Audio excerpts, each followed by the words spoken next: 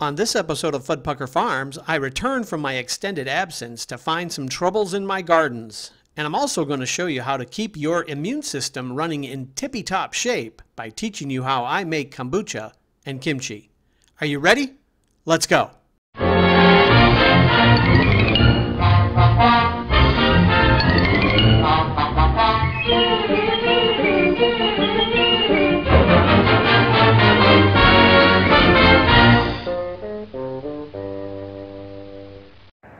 Okay, let's start with this garden update. Um, this plant right here is one of the small, the one of the plants that I planted, one of the seeds that I planted oh a few videos ago. Uh, this is the uh, Exotic Genetics Big Smooth, which is the blueberries cookies cross, which I'm excited to grow. Um, I'm, I'm having some a little bit of trouble, which I was expecting to have because of the climate differential uh, here and the amount of rain that we've been getting has just been very detrimental this year. Uh, in my statistical measuring area, we have already exceeded our average annual rainfall for this area by eight inches, and it's not August 1st yet, and we haven't had a hurricane yet. So, um, needless to say, there has been an exorbitant amount of water uh, that my plants have been getting this year, and, and, it's been a problem. But anyways, of these six plants that I uh, planted uh, that you've seen along the way here, two of them turned out to be females, which of course I had two 30-gallon pots ready to go. These got transplanted on July the 20th into those 30-gallon pots, and she's looking pretty healthy right now.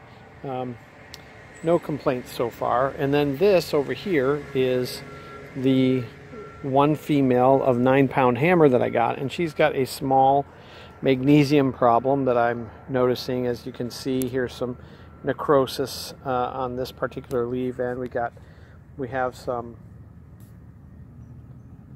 uh, purpling stems. So that is, uh, of course, a concern. And I'm having a, some nutritional problems this year because of the drastic amount of rain that we've been getting, so much more than what we normally get.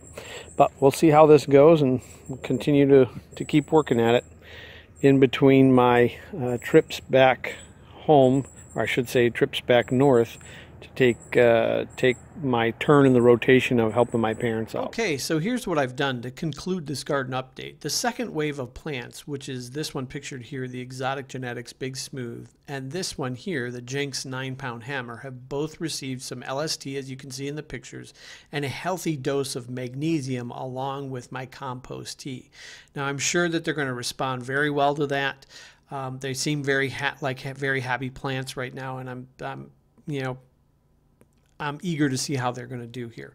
The Hayes plant now, which is pictured here, uh, has been stretched out into a cage and thinned out along with the major top dressing that I gave her of fishbone meal rock dusts, which included green sand, basalt, olivine, azomite, rock phosphate, gypsum, and langbeinite, along with a six gallon feeding of my compost tea recipe, which I've outlined that uh, a few videos ago.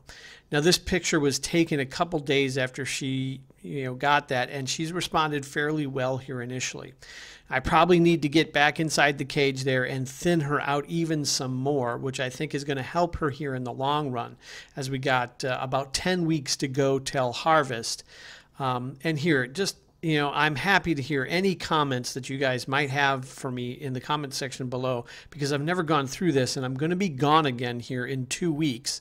So the plants are going to need to fend for themselves a little bit and I need to set them up to do that in my absence somewhat.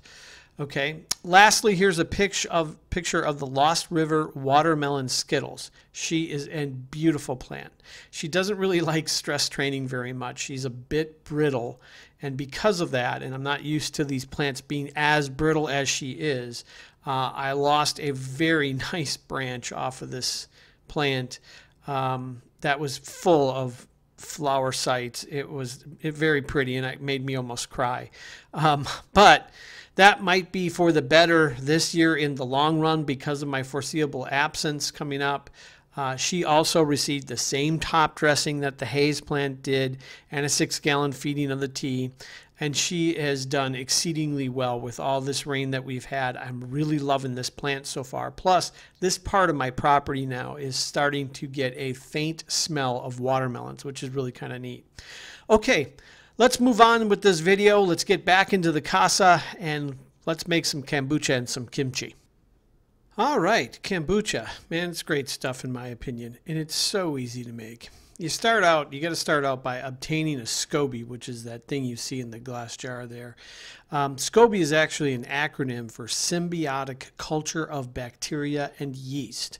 Now, you should be able to find one at any health food store. If you call around, you'll find it. Or if you know somebody that already makes kombucha, they'll have plenty of extras, and I guarantee you that if you ask them for it, they'll probably give it to you.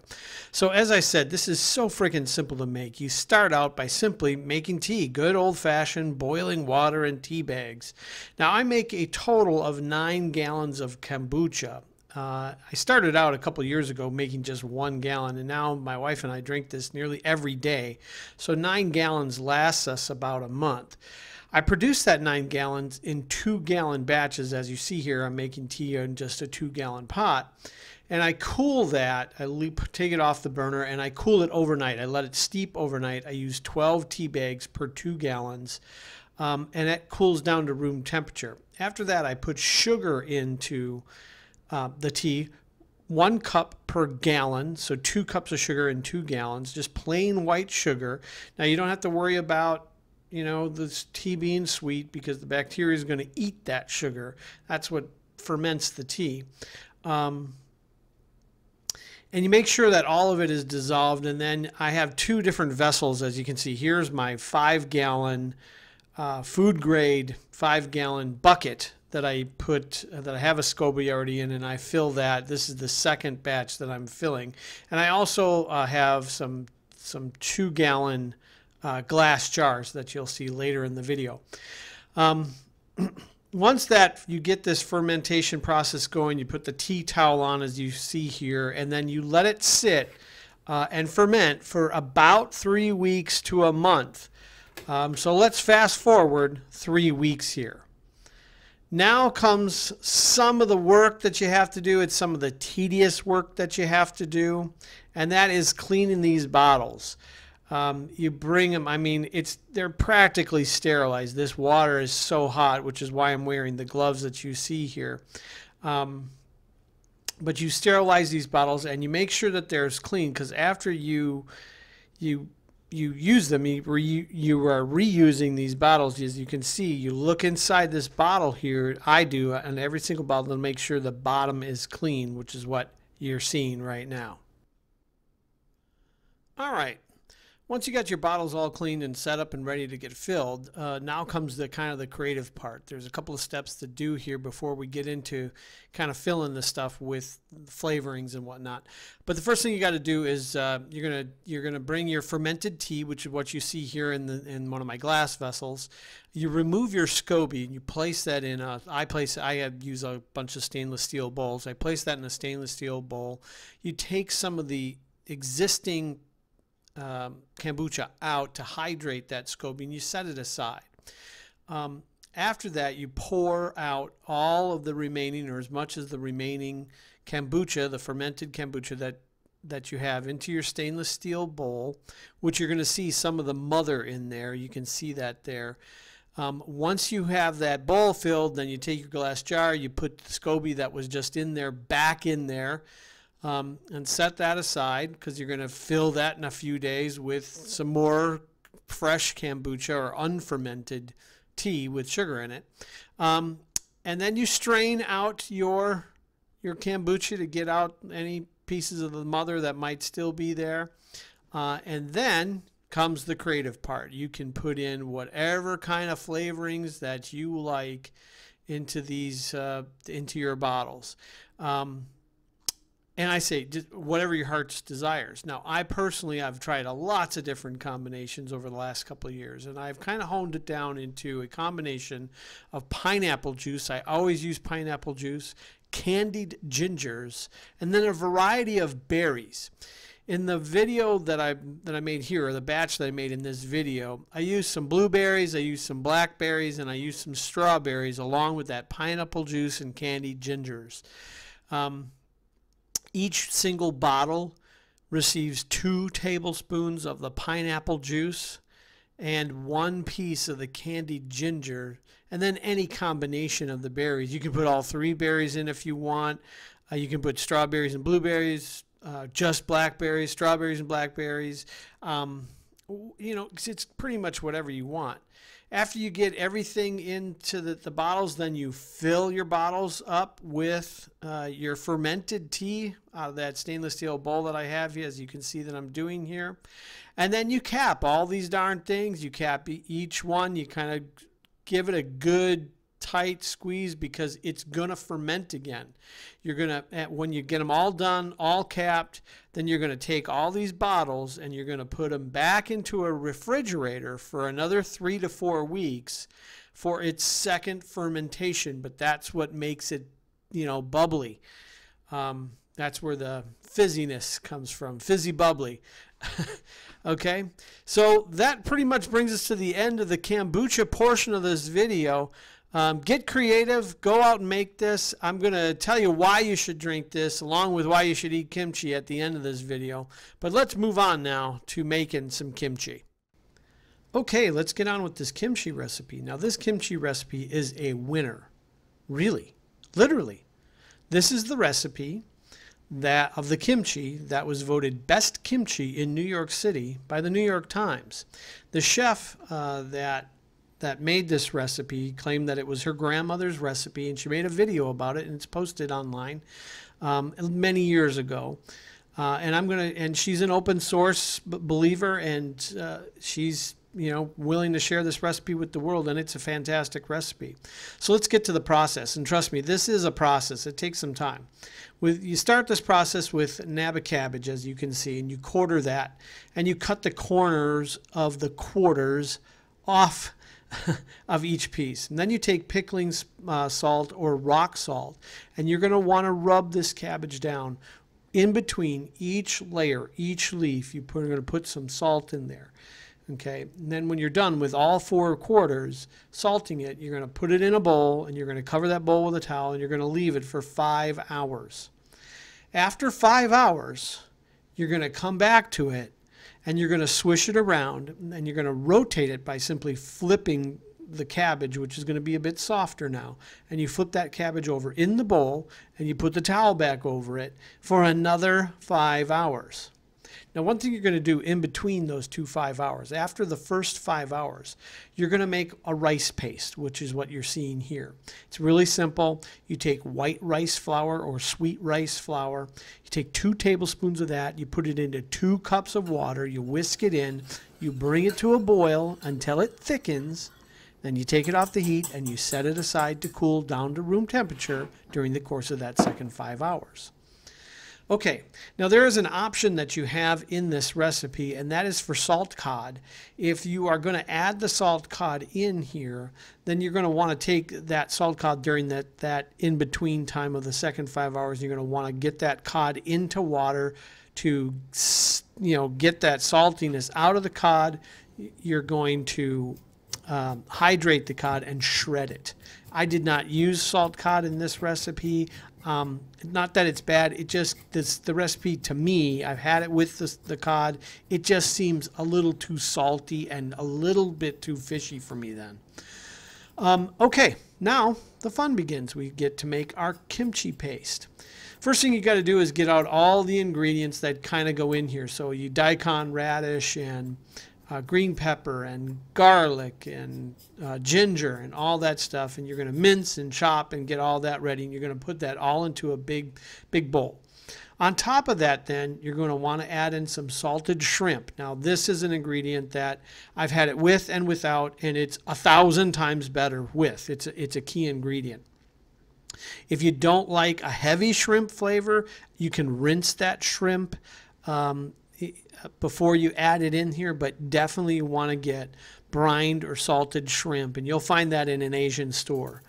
Uh, then you add in all your sauces. You should have a couple of different kinds of fish sauces. You're going to want to get uh, put your shrimp in. You're going to want to put your pl a plum sauce in, uh, apple sauce, and then that rice paste that you made earlier. You add all of that in. Then on top of that, you're going to want to add your red pepper. Now, if you want to get authentic, you're going to use Korean red chili pepper flakes, which is called gochugaru. Um, and I don't know if I'm pronouncing that right. Somebody's probably laughing out there. But I, you know, the, it's like fifty dollars a bag. If you go to the to an, a Korean a Korean store that has it, it's it's expensive. Um, I buy the inexpensive same pepper that's grown in China or wherever, and it's only five dollars a bag. So now, you have an option here too. If you like your food, there's a range for the pepper. You can put in as little as a quarter cup, which is nothing basically, or as much as two cups.